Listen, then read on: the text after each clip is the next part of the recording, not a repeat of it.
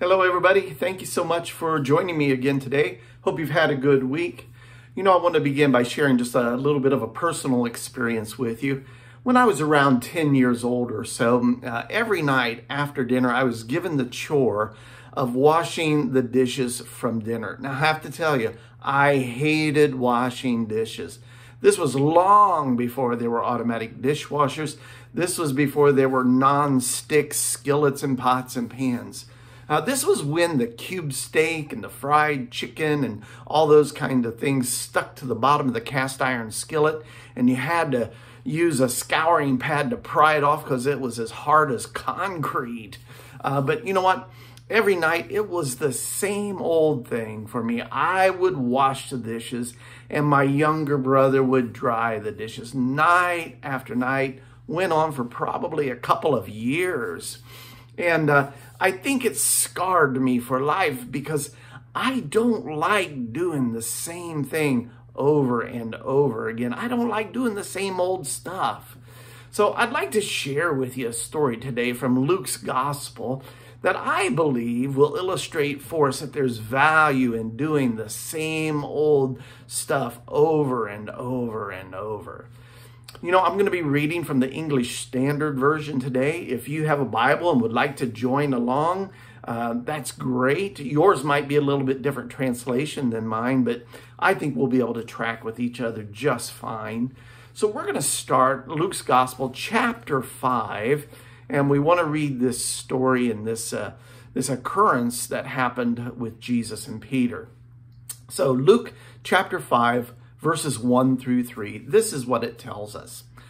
On one occasion, while the crowd was pressing in on him to hear the word of God, he was standing by the lake of Gennesaret, and he saw two boats by the lake, but the fishermen had gone out of them and were washing their nets.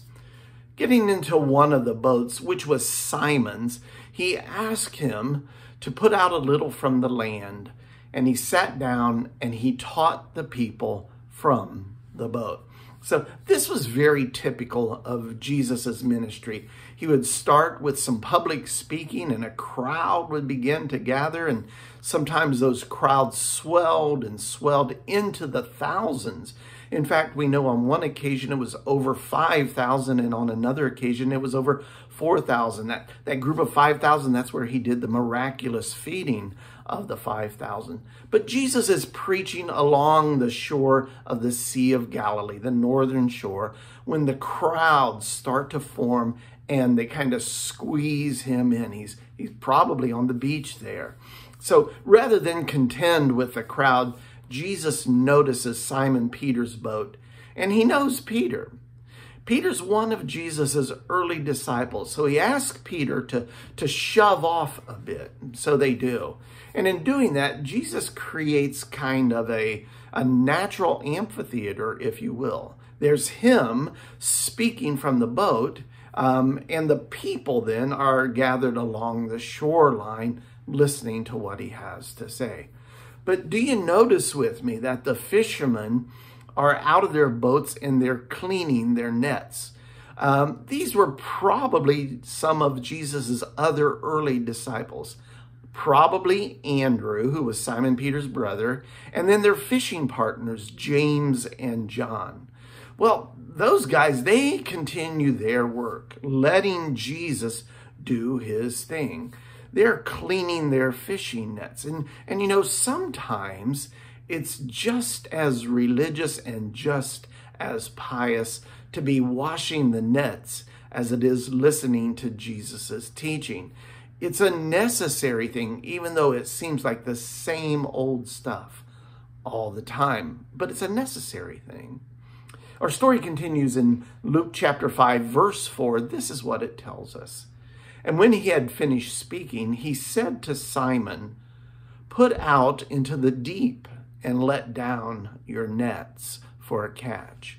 So Jesus asked Peter for a favor. Hey, go out into the deeper water, Peter. Now remember, Jesus had just finished preaching to the people along the shoreline.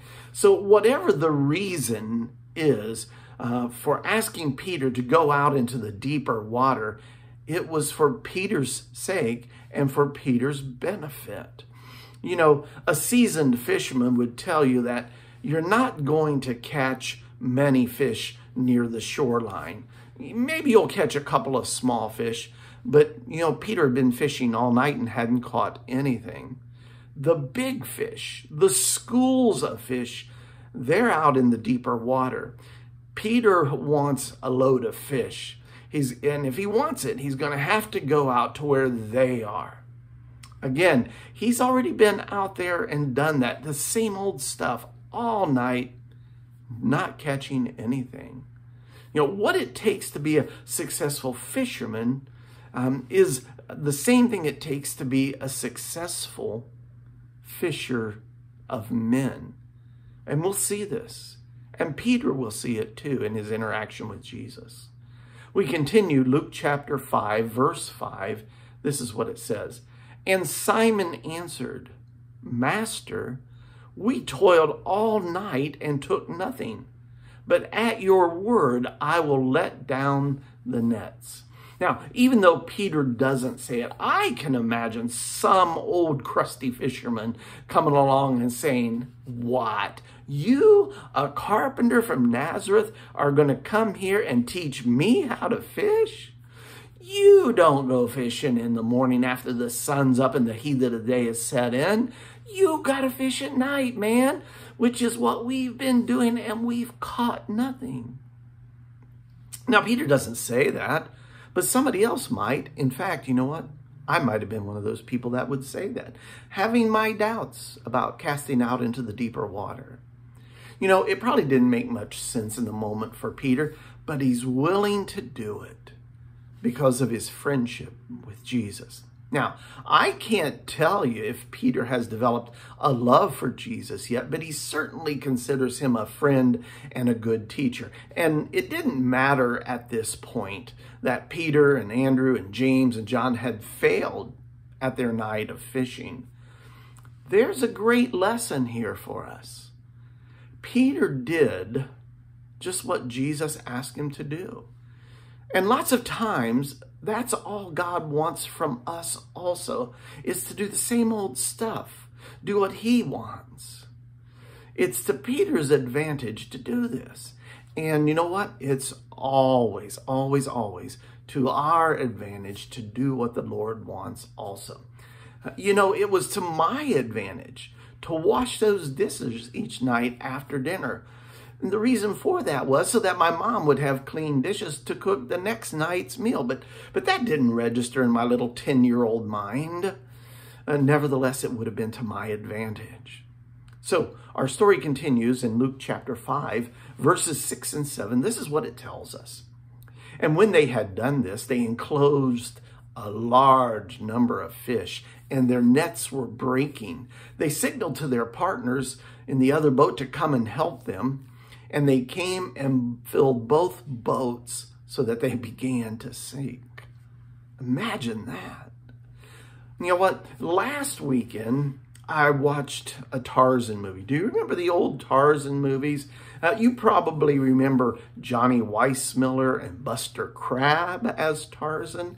Um, uh, but in this movie that I watched last weekend from 2016, um, Alexander Skarsgård plays Tarzan. And there were several scenes in the movie where Tarzan did his trademark call, and you, you know what that sounds like. Um, and when he did that, the animals came to him. The elephants, the lions, the crocodiles, they all came uh, to Tarzan. Um, now, I don't know if Jesus did something like that, but, but Here's what happens. A school of fish shows up where Peter and the gang had fished last night and had caught nothing. I think Jesus kind of made that happen. You know, it was more fish than they could handle. It was something they didn't expect. Peter might have been thinking to himself prior to this, man, going out and fishing again this afternoon, this morning, this is the same old stuff I did last night. But the lesson for us is clear here, I think. You know what? We have to keep doing the same old stuff over and over and over all the time because we never know when it's going to produce results. Somebody might say, you know what? I've prayed the same thing every day, a thousand times with no results. Well, you know, a thousand days, that's less than three years. And the results, well, the results might come on day 1001. Uh, this is a lesson in trust and faith and belief that Jesus knows what he's doing with our lives, and he knew what he was doing with Peter's life as well. He asked us to be faithful in doing what he's asked us to do or has called us to do. And it may seem like the same old stuff all the time. It reminds me of what the apostle Paul wrote in 1 Corinthians chapter 15 verse 58. Here's what Paul said. He said, "Therefore, my beloved brothers, be steadfast, immovable, always abounding in the work of the Lord, knowing that in the Lord your labor, your labor is not in vain." As ministers of the gospel, you and I must continue to let down our nets. Even though we've done the same old stuff for a long time and we've caught nothing, we have to keep sharing the good news of the gospel with others. We have to keep loving others, especially when it's difficult. We have to continue to serve others and sow good things into other people's lives. And then let Jesus place the school of fish exactly where they need to be so that we can catch them. We never stop doing the same old stuff because it didn't produce results last night, but it might produce results this morning. Well, the story continues. Luke chapter 5, verses 8 through 10. This is what it says. But when Simon Peter saw it, he fell down at Jesus' knees, saying, Depart from me, for I am a sinful man, O Lord. For he and all who were with him were astonished at the catch of fish that they had taken. And so also were James and John, the sons of Zebedee, who were partners with Simon. Peter is so awestruck with this miracle that he bows before Jesus and acknowledges his lack of faith, his lack of belief in what Jesus had asked him to do. And Jesus met Peter in the ordinary, everything days of life. Um, it's the same old stuff where he met Peter fishing. You know, what seemed impossible last night became a reality in the light of day, a harvest of fish where there had been no fish. It was used by Jesus to reinforce his call upon Peter's life that Peter would become a fisher of men. Well, our story continues. Luke 5, verses 10 and 11. And Jesus said to Simon, Do not be afraid. From now on, you will be catching men. And when they had brought their boats to the land, they left everything and followed him. Well, this experience was for Peter.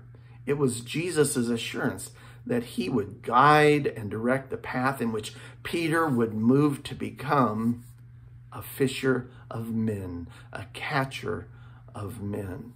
He was giving Peter a glimpse of the future that would require him doing the same old stuff every day, every day, of preaching the gospel to the whole world. You know, when I read this, I recognize this wasn't the only time Jesus did this with Peter. Um, Jesus did it another time after the resurrection when Peter had gone back to being a fisherman. Jesus did the same thing to remind him of his calling. We see it in John's Gospel, chapter 21, verses 4 through 6. Jesus has been crucified, dead, put in the grave, and resurrected after three days. He's walking among his disciples. This is what John records. Just as day was breaking, Jesus stood on the shore Yet the disciples did not know that it was Jesus. Jesus said to them, Children, do you have any fish?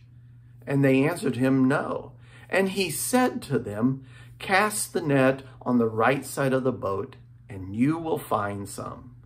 So they cast it, and now they were not able to haul it in because of the quantity of the fish.